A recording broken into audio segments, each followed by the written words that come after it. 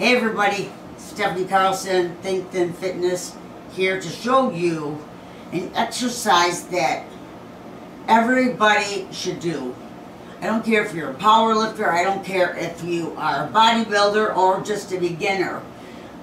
Most everybody that had that I've trained has this issue, weak glutes. You don't realize it, but this looks like a sissy exercise. It is not.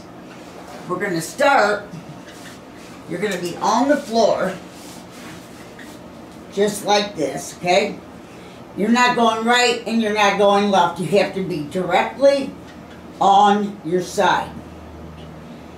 You're going to lift up.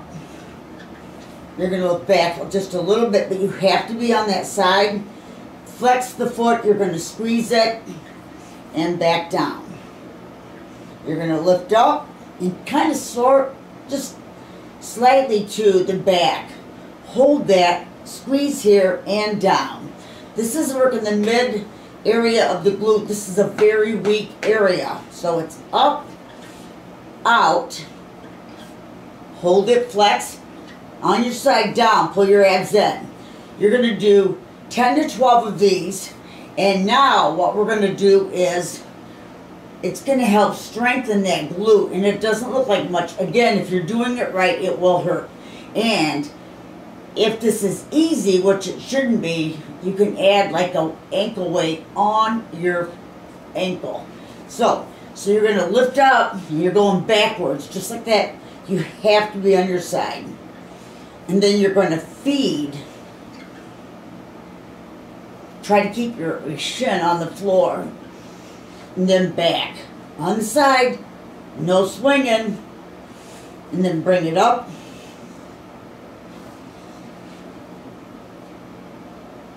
And feed.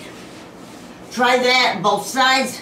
Start out with 10 to 12 reps, 10 to 12 straight up on each side, and then coming back to your, you're going into that back position and you're threading it through, 10 on each.